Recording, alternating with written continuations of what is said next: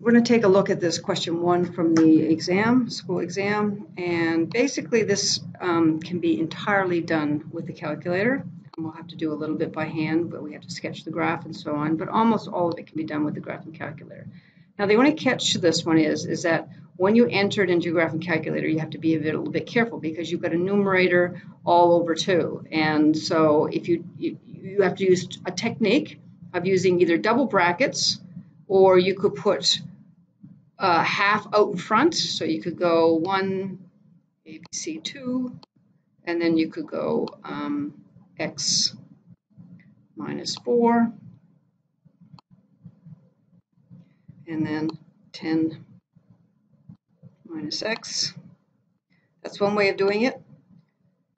Um, and draw it out what you should be able to know that this is an upside down graph. The other way of doing it is to use double brackets. And if you want me to show you that way, I can, but uh, we'll do that on a separate video. So here's the graph. And the, and the question becomes what kind of graph is A versus X, which means what's the relationship between the area and X and the area and basically the graph is a parabola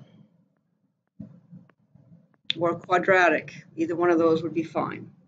What's the area of the triangle when x is 5? So again, we go to the graphing calculator, when x is 5. So if I was to exit out of that and go to the table menu, then I could get x to be 5 and I could figure out what a or y is going to be. And select that on my calculate table. So just go down to where x is 5, the area is 2.5. Easy. And then we go down to the next part. Now we're actually going to have to sketch the graph. So we need to get points. We need to accurately sketch the graph. I would probably use my table. And since this graph is going from 0 to 12, I'm going to make um, my table go from 0 to 12.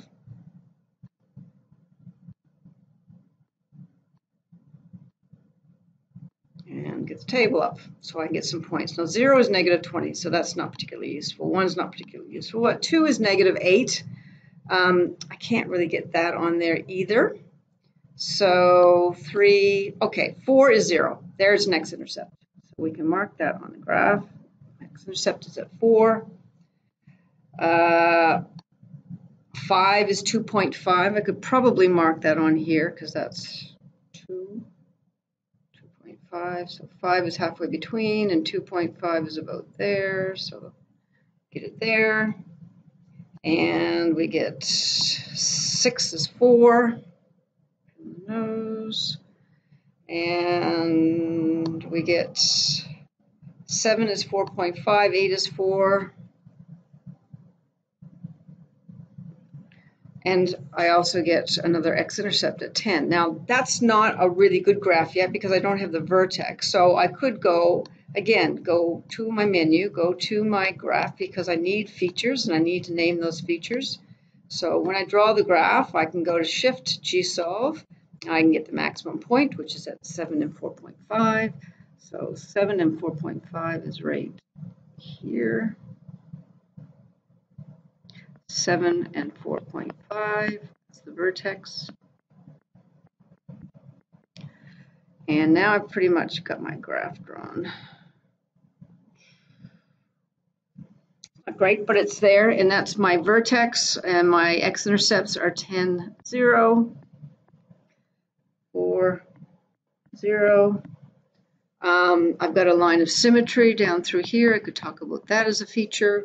I could find my y-intercept if I wanted to, even though it's a big negative number, but I have to make sure that my graph, uh, exit, draw. Uh, I'm not going to get the y-intercept unless I actually show it on my window. So I've got to actually go all the way down here till I get to the y-intercept. Now I could go g-solve and I go y-intercept, which is 20. So the y-intercept's at 0 and negative 20. So I've got some features. So I've covered that. I've done a sketch of the graph. I've named my features. The x, these are x-intercepts, and I probably should say what they are, x-intercepts.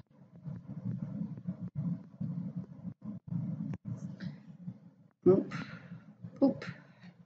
Vertex, line of symmetry, so on. Now the next part Using the graph sketch in part, find the x value for which the area of the triangle is 4. So area of the triangle is 4. Well, that's my line, that's my area, which is at 4. So I already know that. I did that. I plotted those points. So that's 6 and 8. Uh, the x value for which the area of the triangle is 6. Well, the area of the triangle, if you understand, the maximum point is at 7 and 4.5. I can't get an area of 6. There cannot be an area of 6.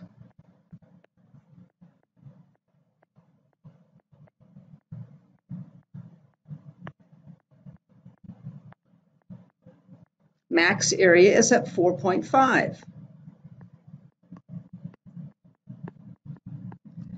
That's just understanding what the problem, the context of the problem is telling you and showing you that you have an understanding around that. Now, when x is 9.6, the area of the triangle is 1.2. So basically they're saying, that's 10, so 9.6 is sort of somewhere. Yeah, that'll do. Uh, somewhere, I mean, 9 there, 9.6, somewhere in here, right? And it's 1.2, that's so it's somewhere there.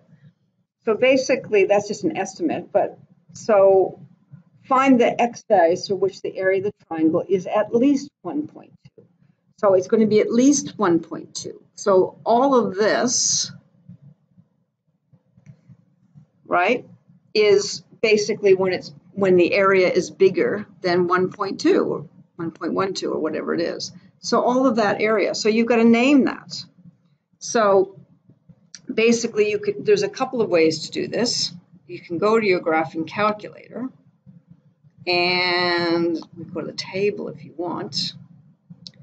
Uh, now there is a way of doing this and I've not shown you this, so maybe we go back to the graph. We can do it here, draw it. You know, go back to the graph so I can see the graph.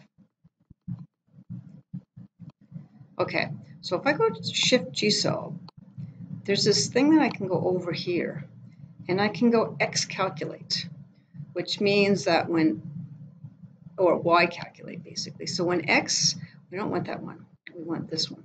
We want, G solve. Oops. G solve. And we want this one, X calc. So when Y is 1 point, what was it, 1.12? 4.4. Uh, and also 9.6. So this is 4.4 and this is 9.6. You could have done this as an algebra question and you could have solved it. So you could have made the expression equal to 1.12 and solved for x by using the equation here and making it equal to 1.12. That takes a lot longer to do.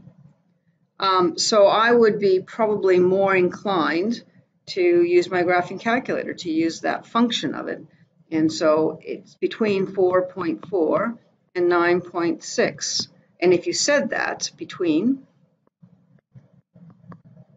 the other way of writing it is x is got to be greater than or equal to 4.4, but less than or equal to 9.6.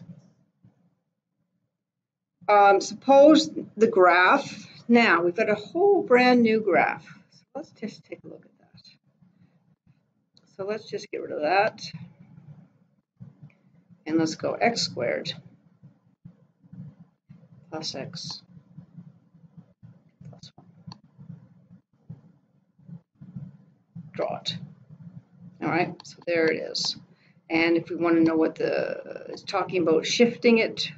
So if we want to know what the minimum point is, is that, so the vertex of this particular graph, when you're shifting and doing translations or transformations, you need to know what the vertex is.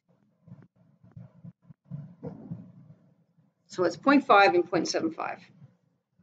Now we want to move, find the values of the constant P and R if uh, 2 to 1 are the coordinates of the new vertex. So the new vertex is going to be 2 and 1.